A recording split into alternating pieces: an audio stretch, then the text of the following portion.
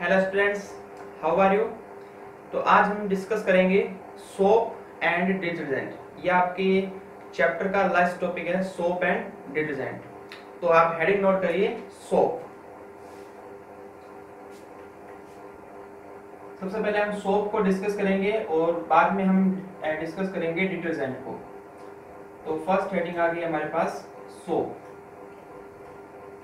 अब सोप को आप वैसे तो घर में यूज़ करते ही हैं। ठीक है? सभी जगह यूज़ करते हैं। लेकिन अब सोप क्या होता है और ये बनता कैसे है? हमें इसके बारे में थोड़ी स्टडी करनी है। तो सोप को बनाने का एक प्रोसेस होता है। उस प्रोसेस को हम बोलते हैं सेपोनिफिकेशन क्या वर्ड है? सेपोनिफिकेशन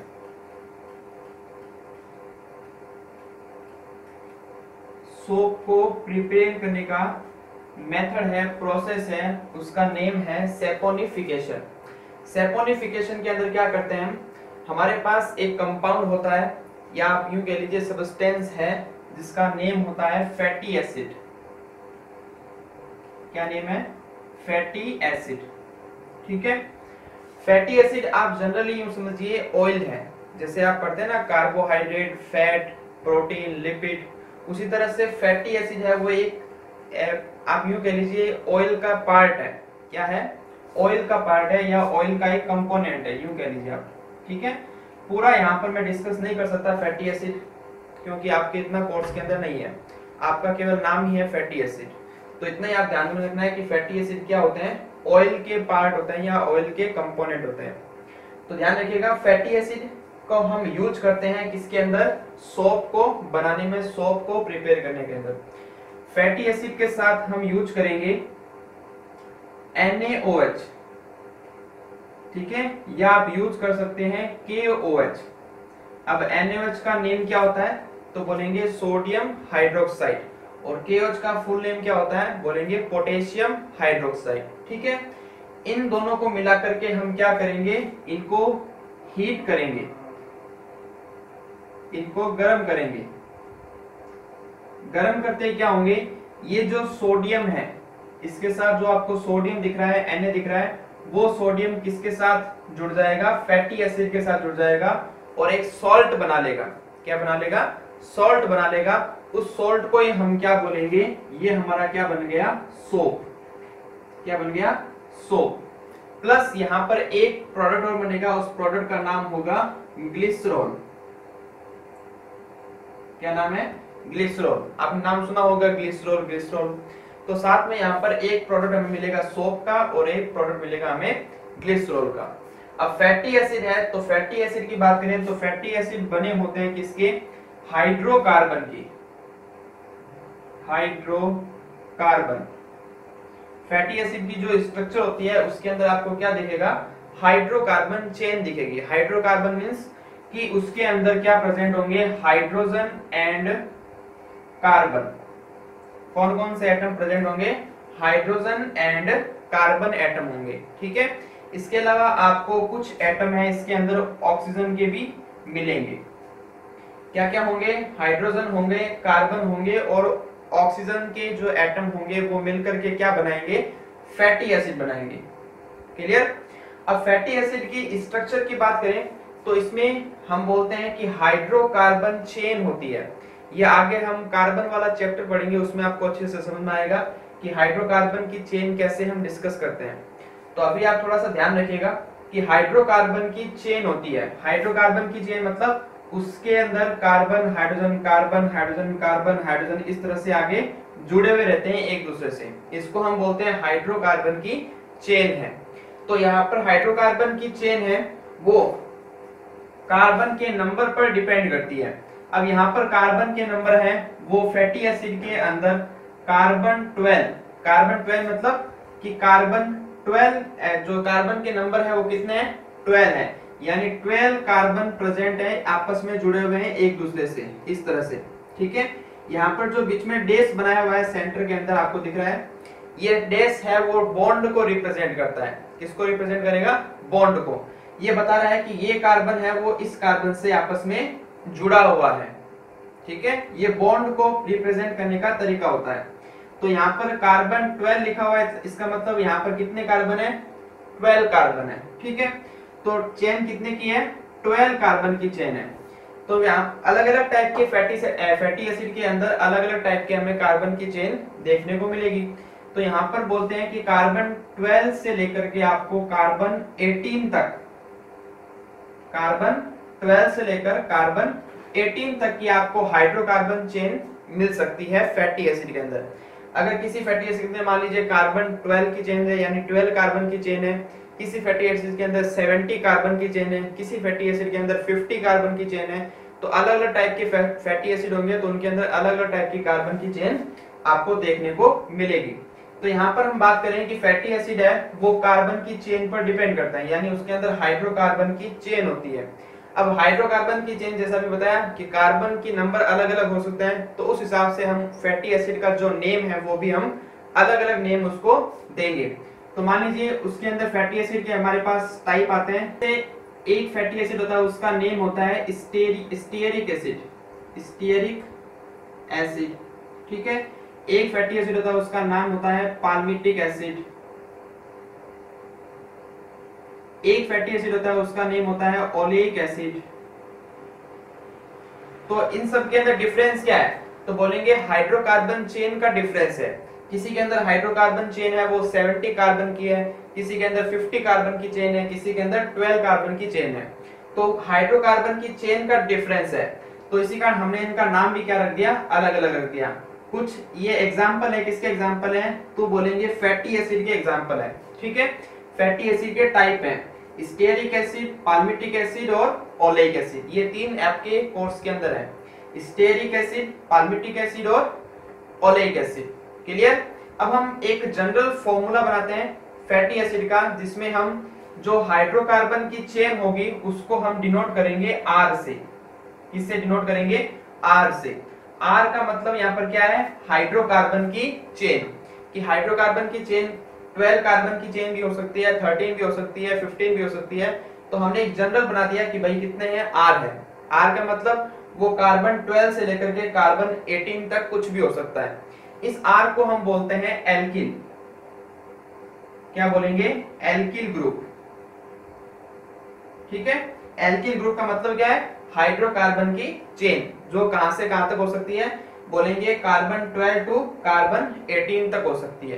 क्लियर अब एक जनरल फॉर्मूले की बात करते हैं। तो जनरल फॉर्मूला देखिए फैटी एसिड का। इसको रफ कर देते हैं।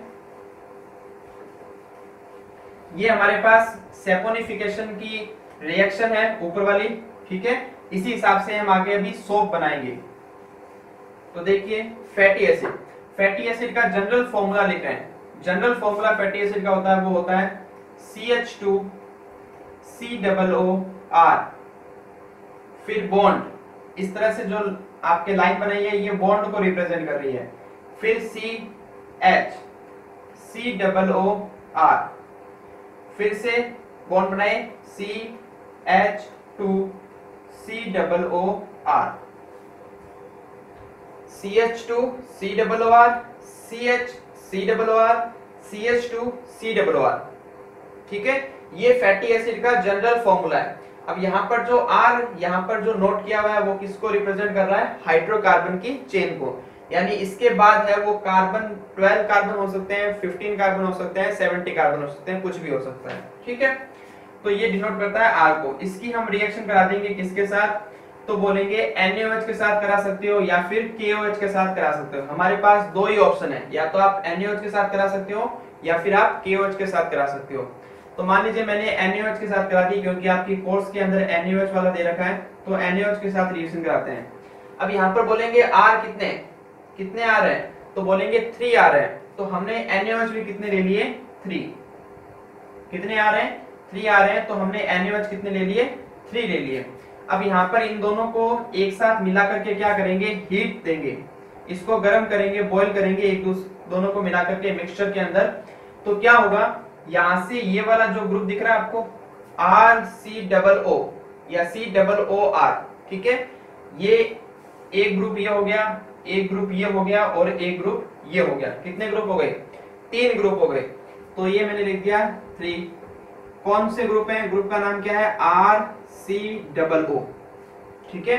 मैंने थोड़ा सा इसको रीअरेंज करके लिखा है। R C double O R C double O इस आर सी डबल ओ के साथ कौन जुड़ जाएगा? ये हमारे Na सोडियम जुड़ जाएगा। तो सोडियम की वैल्यू कितनी है यहाँ पर?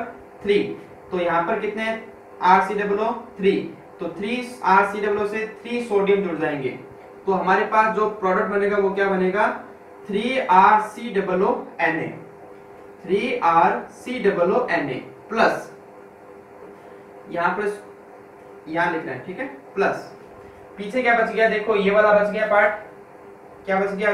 C S two C H C S two ये वाला तो निकल गया, ठीक है? तो पीछे क्या बच गया? C S two C H C S two फिर इन तीनों से कौन जुड़ जाएगा? इन तीनों से ये तीन ओ जुड़ जाएँगे, क्योंकि यहाँ पर NaOH के कितने मोल हैं? या कितने मॉलिक्यूल हैं? बोलेंगे थ्री मॉलिक्यूल है. इसका मतलब उसके अंदर थ्री सोडियम है और थ्री OH है. तो थ्री सोडियम तो यहाँ से, यहाँ जुड़ गए, और बाकी बचे थ्री ओ OH कहाँ जुड़ेंगे? तो इन तीनों से एक एक जुड़ जाएँगे. यानी एक ओ OH यहाँ जुड़ेगा, एक ओ OH यहाँ जुड़ेगा और एक ओ OH यहाँ जुड़ जाएगा। इस, ये वाला जो आपको स्ट्रक्चर दिख रही है, ठीक है, ये स्ट्रक्चर होती है ग्लिसरॉल की। किसकी स्ट्रक्चर होती है? ग्लिसरॉल की। तो यहाँ पर ये इक्वेशन है फैटी एसिड ये रहा फैटी एसिड ये फैटी एसिड की स्ट्रक्चर है। फिर NaOH ले लो या KOH ले लो, ये हमने ले लिया NaOH इनको गर्म करेंगे हीट देंगे, ठीक है। यहाँ पर हमें क्या मिलेगा? 100 प्लस ग्लिसरॉल तो ये वाला पार्ट है। ये वाला पार्ट तो किसका हो गया? ग्लिसरॉल की स्ट्रक्चर होगी। और ये जो हमें मिला है R C double O N A ये क्या होता है? सोप क्या होगा ये? सोप ये सोप की स्ट्रक्चर होती है। R C double O N A ये होती है सोप की स्ट्रक्चर अब इन सोप को देखो मिक्सचर के अंदर हमें ये भी मिल रहा है और ये भी मिल रहा है। तो इन दोनों को हमें क्या करना है? सेपरेट करना है। हमारा जो बाउल है, बाउल के अंदर सोप भी है और साथ में क्या है ग्लिसरॉल भी प्रेजेंट है।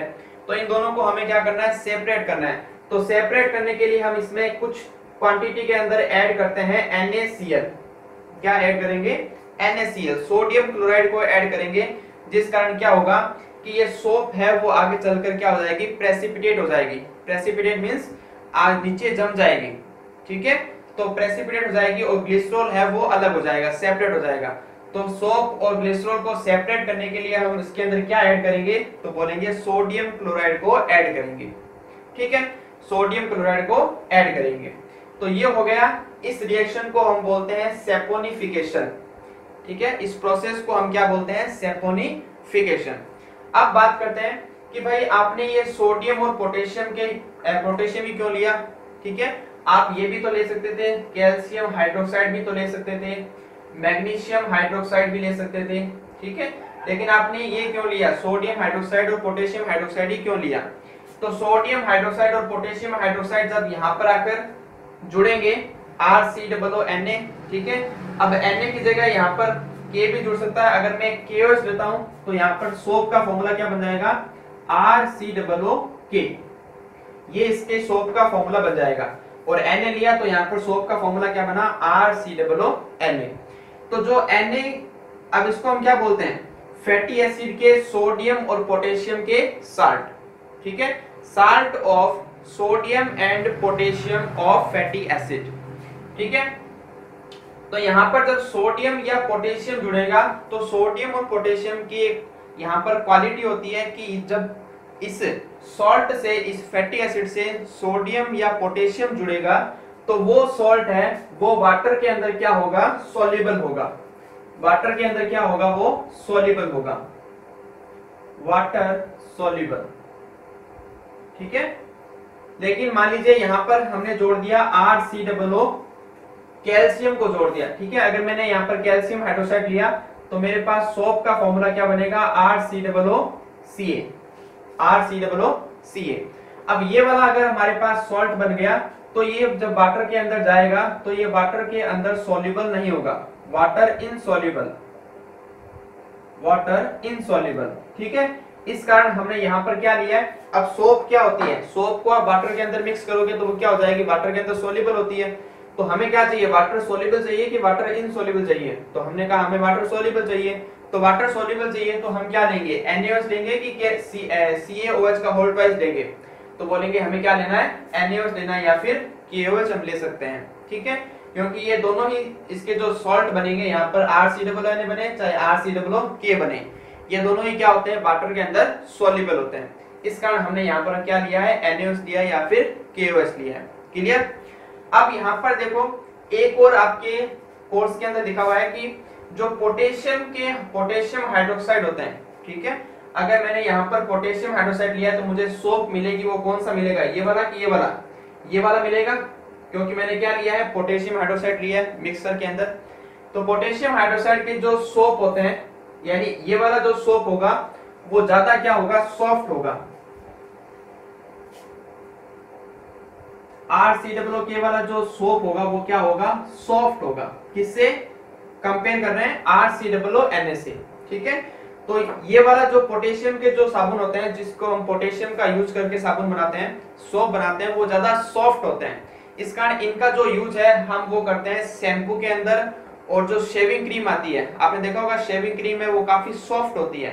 तो सॉफ्ट क्या होती है? क्योंकि उसमें सोडियम की जगह कौन प्रेजेंट होता है? पोटेशियम पोटेशियम की नेचर होती है सॉफ्ट इस कारण जो शेविंग क्रीम के शेविंग क्रीम की जो सोप होती है, वो कैसी होती है? सॉफ्ट होती है। शैम्पू होता है। शैम्पू कैसा होता है एकदम सॉफ्ट होता है। ठीक है उसके अंदर भी कौन सा प्रेजेंट होता है? ये वाला प्रेजेंट होता है आर सी डब्लो के क्लियर अब कुछ आपने देखा होगा कुछ ऐसी सोप होती है जो ट्रांसपेरेंट होती है। कुछ ऐसी सोप होती है जो ट्रांसपेरेंट होती है। कुछ ऐड आते हैं एक, एक का नाम लेता हूँ मैं पियर्स ठीक है वो कैसी सोप होती है? ट्रांसपेरेंट होती है। तो सोप को ट्रांसपेरेंट बनाने के लिए ट्रांसपेरेंट बनाने के लिए उसके अंदर हम ऐड करते हैं। क्या ऐड करते हैं? तो बोलेंगे ग्लिसरीन ऐड करते हैं। ग्लिसरीन ऐड करते हैं। ठीक है? ग्लिसरीन आपने देखा भी होगा या सुना भी होगा नाम ग्लिसरीन। तो ग्लिसरीन को ऐड करते हैं सोप बनाते टाइम। इस कारण जो ग्लिसरीन है वो क्या करता है? सोप को ट्रांसपेरेंट करता है। क्लियर? तो ये हो गया हमने सोप की जनरल डिस्कशन। अब बात करते हैं वाटर के टाइप्स तो हमारे पास टू टाइप्स के वाटर होते हैं। जो अर्थ पर है, वो टू टाइप्स के वाटर प्रेजेंट है। एक वाटर होता है, उसका नेम होता है सॉफ्ट वाटर और एक वाटर होता है, उसका नेम होता है हार्ड वाटर तो क्या होता है, देखिए इसको इसको मैं रफ कर रहा हूँ, ताकि नेक्स्ट टॉपिक हम यहाँ पर नोट कर सकें. एक होता है सॉफ्ट वाटर और एक होता है हार्ड वाटर अभी आपको समझाने की कोशिश करेंगे. देखिए वाटर है वो टू टाइप्स का है. फ़र्स्ट है, वो है सॉफ्ट वाटर और सेकंड है, वो है हार्ड वाटर ठीक है? सॉफ्ट वाटर कौन सा होता है? जो आप घरों के अंदर यूज़ करते हैं, जो आप पीने के लिए पानी जो यूज़ करते हैं, वो कौन सा वाटर होता है? तो बोलेंगे सॉफ्ट वाटर होता है, ठीक है? जो आप डेली यूज़ करते हैं डेली यूज़ करते हैं, वो कौन सा वाटर होता है? सेफ्ट वाटर होता है, ठीक है? और हार्ड वाटर कौन सा होता है? जो सी वाटर होता है।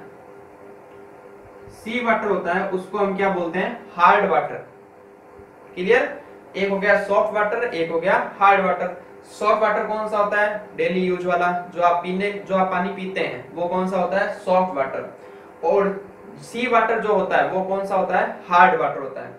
अब यहाँ पर ये डिस्कस क्यों कर रहे हैं? क्योंकि जब आप सोप को सॉफ्ट वाटर के अंदर मिक्स करोगे, जब आप सोप को सॉफ्ट वाटर के अंदर मिक्स करोगे तो मैंने यहाँ पर लिया सोप, प्लस मैंने लिया सॉफ्ट वाटर।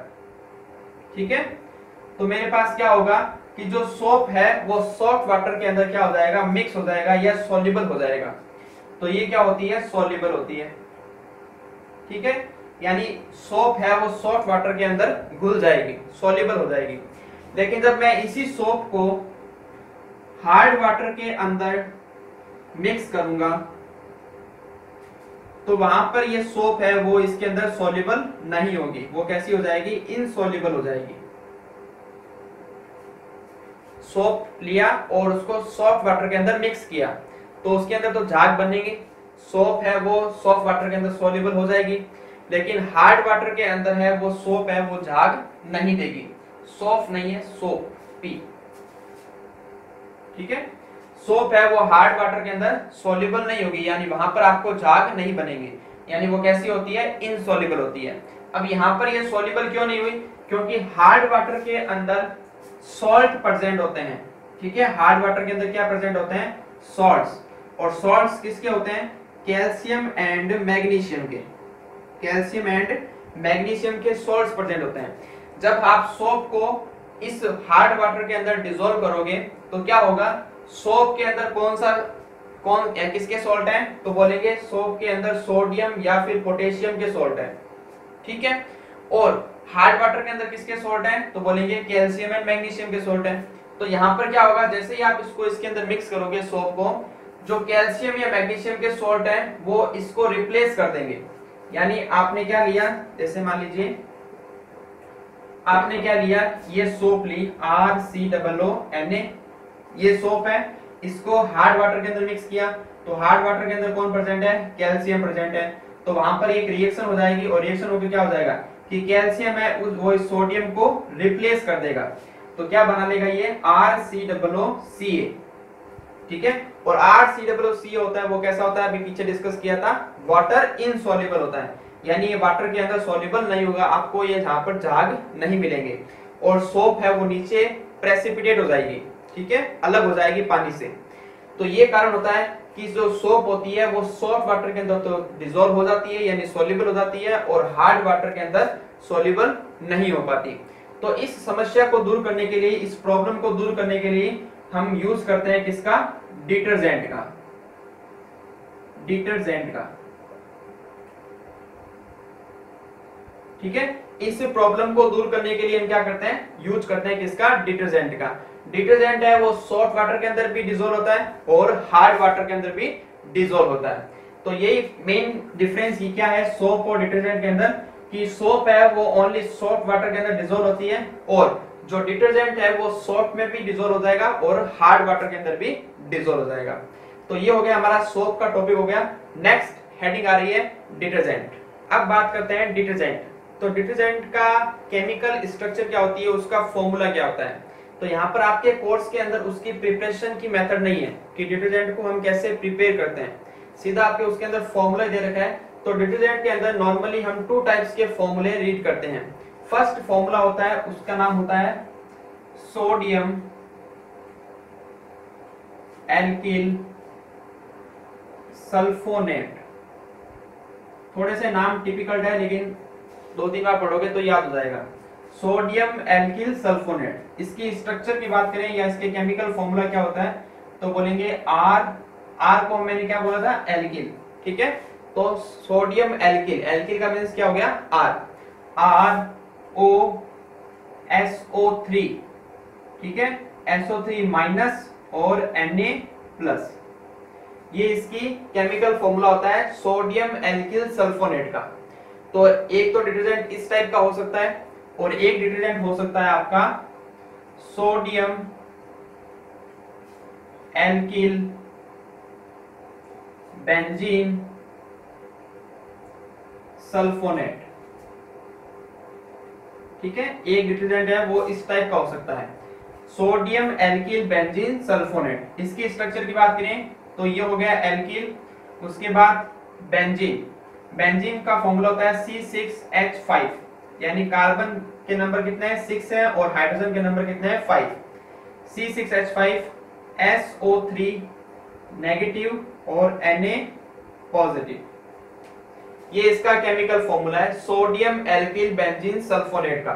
ये हो गया सोडियम एल्किल सल्फोनेट ये टू टाइप्स के डिटर्जेंट है, वो आपकी कोर्स के अंदर है। कि डिटर्जेंट का जो कंपोजिशन होता है, या डिटर्जेंट के डिटर्जेंट किससे मिलकर बना होता है तो बोलेंगे सोडियम एल्किल सल्फोनेट से मिलकर बना हो सकता है, या फिर सोडियम एल्किल बेंजीन सल्फोनेट से मिलकर बना हो सकता है। अब यहाँ पर जो होंगे, वो क्या होगा? ये सॉफ्ट वाटर के अंदर भी क्या होंगे? डिजोल्व होंगे, और हार्ड वाटर के अंदर भी डिजोल्व होंगे। तो हार्ड वाटर में पीछे क्या किया था हमने कि जो सोडियम था उसको रिप्लेस कर दिया था किससे? कैल्शियम से। तो यहाँ पर जब कैल्शियम आ जाएगा, उसको हम बोलेंगे कैल्शियम एल्किल सल्फोनेट, ठीक है? और यहाँ पर अगर कैल्शियम आ जाता है तो इसका नाम क्या हो जाएगा? Calcium alkyl benzene sulphonate. तो जब ये प्रोडक्ट बनेगा, ये कंपाउंड बनेगा, जैसे मान लीजिए यहाँ पर ये वाला कंपाउंड बन गया हार्ड वाटर के अंदर R O S O three minus और सी ए प्लस टू, ठीक है? यहाँ पर आप इसको बैलेंस करने के लिए, चार्ज को बैलेंस करने के लिए मैंने इसको यहाँ से टू से मल्टीप्लाई कर दिया, ठीक है?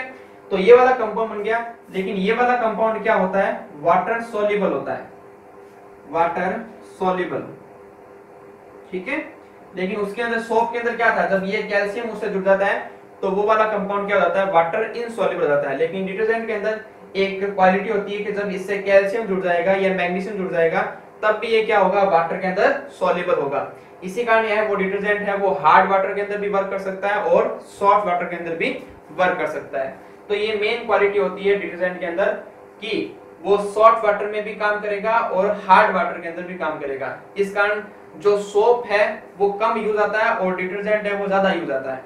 क्लियर तो ये तो हो गया इसके बारे में जनरल बातें। ये जो डिटर्जेंट होते हैं, वो क्या होते हैं? वाटर को पॉल्यूट करने वाले होते हैं। यानी वाटर पॉल्यूटेंट्स होते हैं। वाटर पॉल्यूटेंट क्यों होते हैं? क्योंकि डिटर्जेंट है, वो नॉन बायोडिग्रेडेबल होते हैं। Non biodegradable non biodegradable होते हैं, जिस कारण क्या होते हैं? जो बैक्टीरिया होते हैं, वो इनका डाइजेशन नहीं कर पाते हैं। यानी इनको जो ऑटोमेटिकली जो डाइजेशन होता है बैक्टीरिया से या फंगस से, वो इनको खत्म नहीं कर पाते हैं डिटर्जेंट को। और ये वाटर के अंदर लंबे टाइम तक आपके पड़े रहते हैं, ठीक है? जिस कारण क्या होता है वाटर पॉल्यूटेंट होता है। तो डिटर्जेंट क्या होते हैं? वाटर पॉल्यूटेंट्स क्लियर अब बात करते हैं कि डिटर्जेंट के अंदर कुछ केमिकल्स भी मिलाए जाते हैं। कुछ और केमिकल्स इसके अंदर मिलाए जाते हैं, जैसे कि, बात करें, इसको रफ कर देते हैं। कुछ और केमिकल्स मिला जाते हैं डिटर्जेंट के अंदर, जैसे कि inorganic inorganic phosphate inorganic phosphate second number पर sodium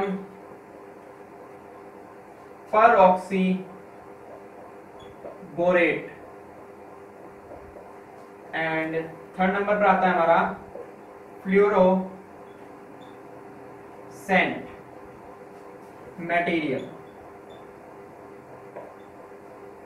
फ्लोरोसेंट मटेरियल ये कुछ केमिकल है वो डिटर्जेंट के अंदर ऐड किए जाते हैं। तो ये जो केमिकल्स ऐड करते हैं, ये सारे के सारे क्या होते हैं? वाटर को पॉल्यूट करने वाले होते हैं। वाटर पॉल्यूटेंट्स वाटर को पॉल्यूट करने वाले होते हैं, ठीक है? और साथ में यहाँ पर जो बैक्टीरिया काम करते हैं आपको पता होगा कि कुछ बैक्टीरिया है वो हमारे लिए बेनिफिशियल होते हैं। आपके पास मान लीजिए एक डेड बॉडी है और डेड बॉडी को आपने क्या किया? ज़मीन के अंदर खड्डा खोद के उसको ढक दिया सोइल से। तो कुछ समय के बाद अगर आओगे साल दो साल के बाद आओगे तो वहाँ पर आपको क्या मिलेगी? डेड बॉडी नहीं मिलेगी। क्या मिलेगा? केवल और केवल उसका स्केलेटन मिलेगा। है ना? तो बा, बाकी जो डेड बॉडी है वो कहा गई? तो डेड बॉडी को क्या किया? बैक्टीरिया और जो फंगस जो सॉइल के अंदर होते हैं, उसने क्या किया? उसको डाइजेस्ट कर दिया। क्या किया? उसको डाइजेस्ट कर लिया। तो ये होता है बैक्टीरिया का काम कि जो बायोडिग्रेडेबल प्रोडक्ट होते हैं, जैसे हमारा बॉडी है तो बॉडी हमारी क्या है? बायोडिग्रेडेबल प्रोडक्ट है। यानी इसका डाइजेशन हो सकता है बैक्टीरिया और फंगस के द्वारा। लेकिन कुछ ऐसे प्रोडक्ट होते हैं, जैसे कि डिटर्जेंट है। तो डिटर्जेंट कैसा होता है? नॉन बायोडिग्रेडेबल होता है। यानी अगर आप इसको, इसका जो पाउच है या उसकी जो भी है मटेरियल है, अगर आपने उसको सॉइल के अंदर डाला और कुछ समय के बाद आओगे तो वो वैसा का वैसा आपको दिखेगा। जैसे पॉलीथीन है तो पॉलीथीन को आप सॉइल से ढक दो या किसी से भी ढक दो तो कितने भी सालों बाद आ जाओ तो आपको वैसी की वैसी मिलेगी, है ना? क्यों? क्योंकि वो नॉन बायोडिग्रेडेबल होती है। इसी कारण इसको हम क्या बोलते हैं? वाटर को पॉल्यूटेंट्स यानी वाटर पॉल्यूटेंट्स करने वाले। क्लियर ये हो गया इसका डिटर्जेंट का डिस्कशन अब नेक्स्ट टॉपिक हमारे पास आ रहा है कि ये सोप और डिटर्जेंट है, वो वर्क कैसे करते हैं? ये तो हमने बात की इसके प्रिपरेशन और इसकी स्ट्रक्चर की। अब हम बात कर रहे हैं कि सोप और डिटर्जेंट वर्क कैसे करते हैं। तो सोप और डिटर्जेंट वर्क करने का तरीका होता है, उसमें वो एक स्ट्रक्चर बनाते हैं, दोनों ही सेम तरीके से काम करते हैं सोप हो चाहे वो डिटर्जेंट हो।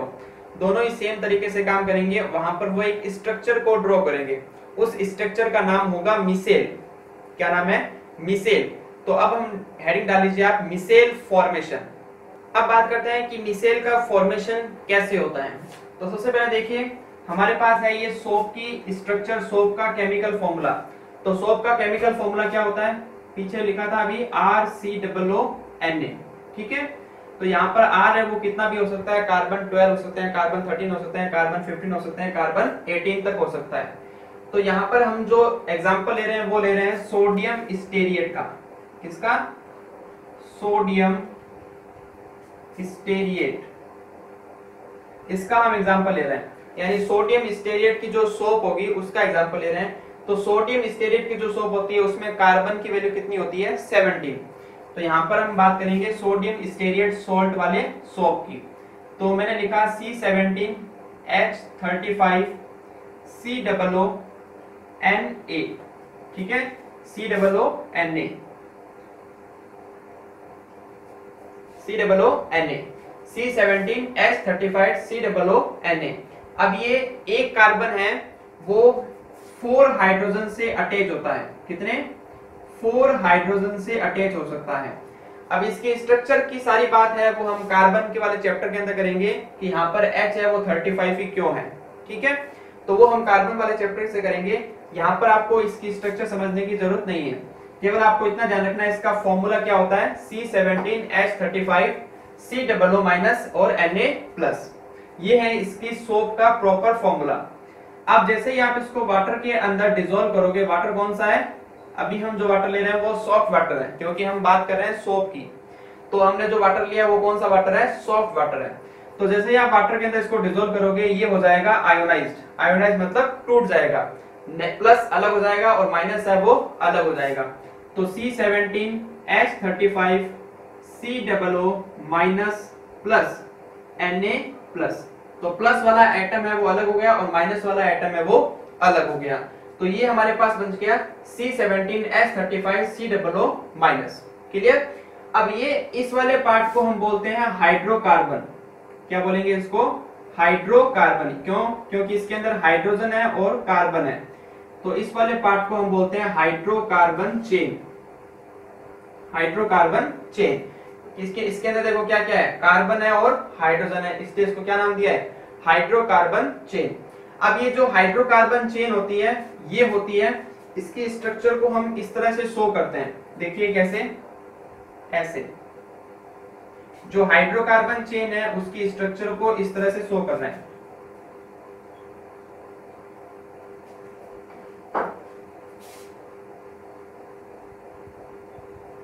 क्लियर ये वाला जो जिगजैग लाइक स्ट्रक्चर दिखाई दे रही है आपको, ये क्या है?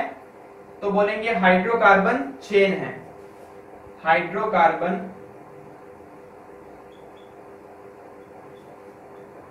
चेन ठीक है?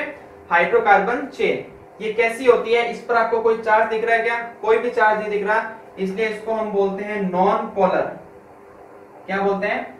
नॉन पोलर ठीक है? और ये कैसी होती है? प्रॉपर्टीज़ की कैसी होती है? तो प्रॉपर्टीज़ की होती है हाइड्रोफोबिक हाइड्रोफोबिक ठीक है?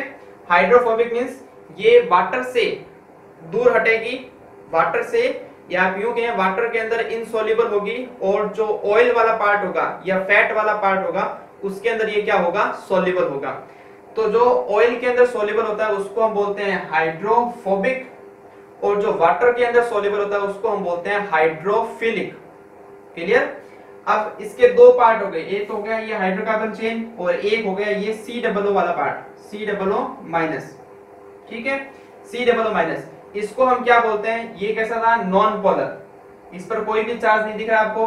ठीक है? इस पर आपको चार्ज दिख रहा है, एक माइनस है। इसलिए इसको क्या बोलते हैं? पोलर ठीक है? क्या बोलेंगे? पोलर और ये कैसा होता है? तो बोलेंगे हाइड्रोफिलिक हाइड्रोफिलिक ठीक है? हाइड्रोफिलिक मींस ये वाटर के अंदर सोल्यूबल होगा, लेकिन फैट के अंदर या ऑयल के अंदर है वो सोल्यूबल नहीं होगा।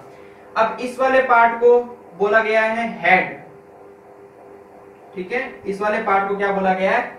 हेड ये इस स्ट्रक्चर का क्या है? हेड है। और ये क्या है? टेल तो हम पूरा नाम क्या बोलेंगे? पोलार हेड और non polar tail polar head और नॉन पोलार टेल ये होगी इसकी स्ट्रक्चर थोड़ा सा यहाँ पर ध्यान देना कि ये वाला जो पार्ट है वो कैसा होता है? हाइड्रोफोबिक और ये वाला पार्ट होता है हाइड्रोफिलिक फोबिक मींस वाटर के अंदर इनसोल्यूबल फैट में सोल्यूबल ये इसका उल्टा. वाटर में सोल्यूबल और फैट में इनसोल्यूबल क्लियर तो ये होगी इसकी स्ट्रक्चर अब यहाँ पर होता क्या देखो? जो हमारे क्लोथ होते हैं जो गंदे हो जाते हैं क्लोथ उस गंदे में नॉर्मली क्या होता है? जो नॉर्मली जो डस्ट होती है, वो चिपके होती है। ठीक है? डस्ट है, वो उस क्लोथ से अटैच होती है। और डस्ट जो अटैच होती है, वो कहीं ना कहीं उसके अंदर एक पार्ट होता है, वो होता है ऑयल का। किसका पार्ट होता है? ऑयल का। यानी जो जनरली जो हमारी डस्ट होती है, वो क्या होती है? ऑयल वाली डर्ट होती है। ठीक है? ऑयल डर्ट जो कपड़े हमारे गंदे होते हैं, ठीक है? उसमें जो गंदगी होती है वो कौन सी होती है? ऑयल वाली होती है। है ना? तो ऑयल होता है तभी तो वो उससे जो भी डस्ट पार्टिकल है या जो भी खराब चीज़ है वो उस कपड़े से चिपक जाती है। क्यों? क्योंकि उसके अंदर कुछ पार्ट प्रेजेंट है किसका? ऑयल का।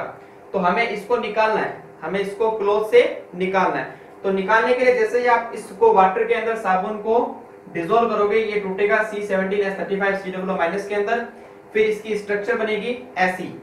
ठीक है? एस इस टाइप की एक स्ट्रक्चर बनेगी।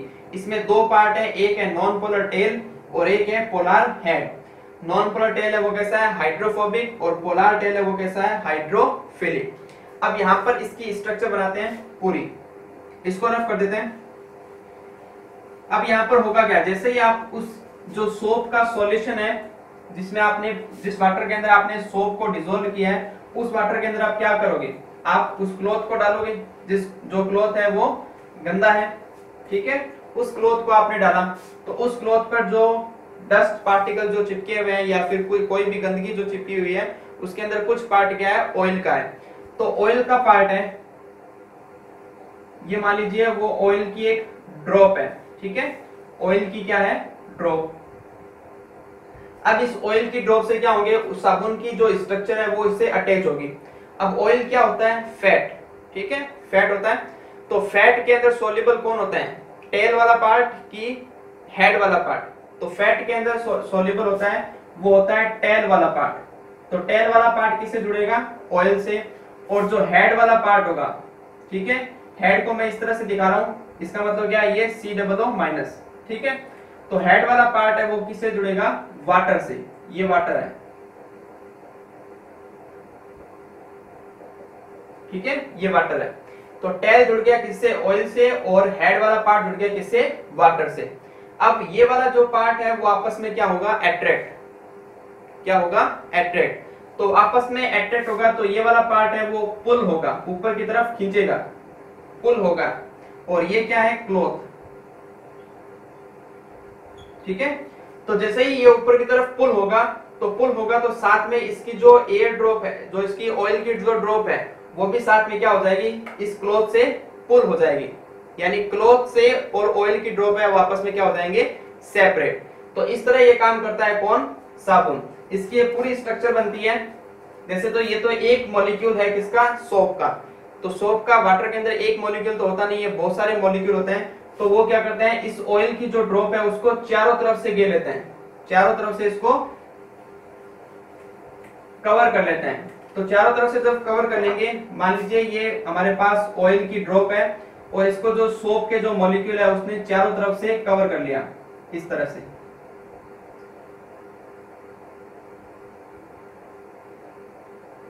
ये इसका टेल और ये इसके हेड ठीक है? और ये क्या है? ऑयल की ड्रॉप तो इस तरह की एक स्फेरिकल स्ट्रक्चर बनती है।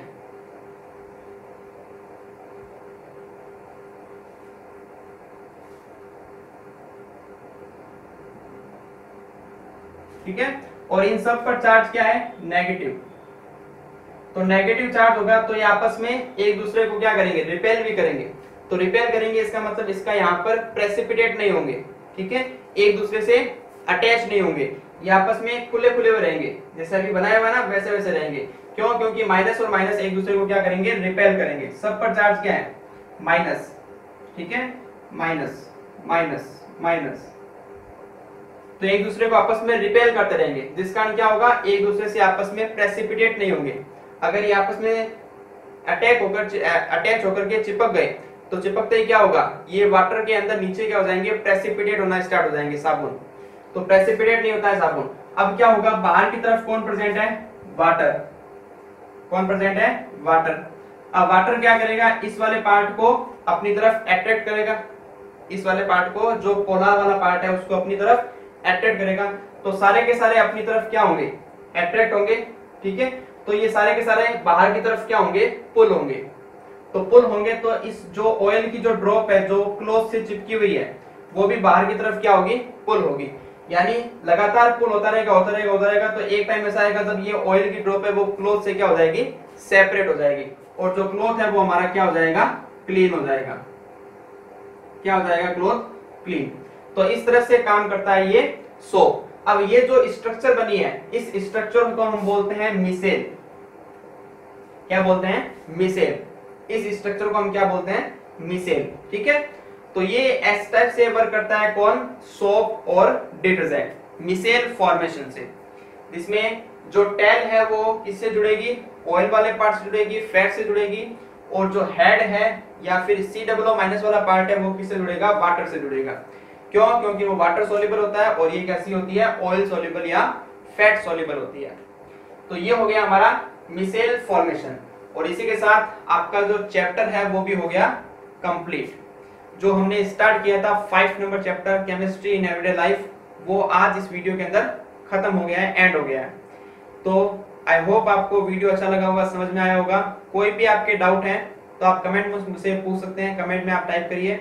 कुछ भी आपको पूछना हो तो मैं उसका आंसर दे दूँगा। तो नेक्स्ट वीडियो के अंदर नेक्स्ट लेसन को स्टार्ट करेंगे। आराम से घर पे रहिए, पढ़ते रहिए और वीडियो को देखते रहिए।